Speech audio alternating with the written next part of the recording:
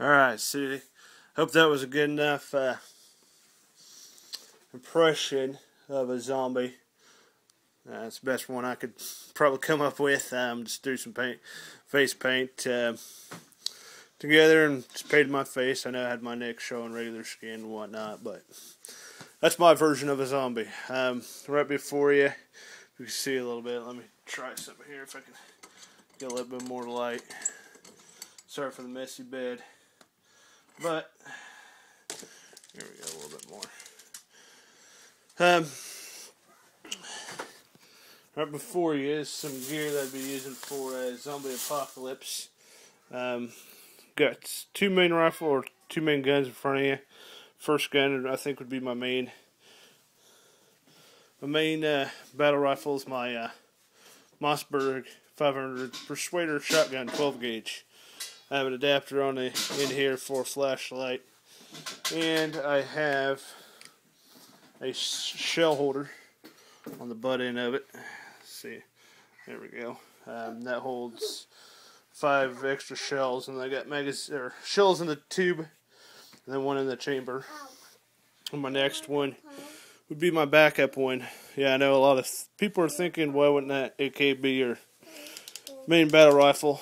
Um, I'd rather have uh, high capacity, more ammo as my backup than a shotgun. So, you know, I'd have extra backup. That's how I think. Um, it's kind of weird, but that's how I do it. Um, down here is my uh, um, ammo belt with my uh, survival knife connected to it. One-handed uh, thing I got at a gun gun show. Um, it's rated, has a salt to it, and it has a built-in uh, survival kit in the handle here. Um, and then my Blackhawk Omega tactical survival vest vest has got eight pockets there. Sorry, it's a little dirty. Um, got some paint somehow, I don't know how. Um, then it's got the three pockets there. That's where I hold my binoculars. Got a pocket there, and then it's got the padded shoulder for, um, you know, your rifle. Keep my tactical glasses on there. Then on the back, it's got the pull handle, adjustable straps if my hand's not in the way. Right there, and there. It's got D-rings up top. Um, also, I've connected to it is my uh, machete. That'll be along with it, and then you know if you want to connect a radio. So that's uh, my uh, survival gear, along with my also will serve as my uh, zombie apocalypse gear. Um, I kind of prep for anything and everything. So, and I think if you're prepped for a you know, a zombie apocalypse, you're basically pretty much, you know, prepping for anything. Um, here's a little brief glyphs with stuff out of the way.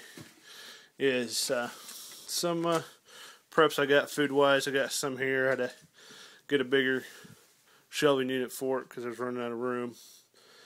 Some of my food preps. I got some bulk foods living room. So, but that's about it. Um, hopefully I uh, answered your questions and did a pretty good zombie uh, impersonation. So I wanted to go ahead and congratulate you, bud. Um, 2,000 sub, that's awesome. Um, you deserve every bit of them and more. Um, you have great information on your channel. I enjoy watching it. You know, from anything from gear review to you know taking us along while you uh, did your prepper shop. So just keep up the great work. It's muchly appreciated and I'm great to have you as a sub, or I'm great to have you as a sub. I'm happy to have you as a sub, and it's great to be sub to you. So keep up the good work. This is Hoosier Prepper, out.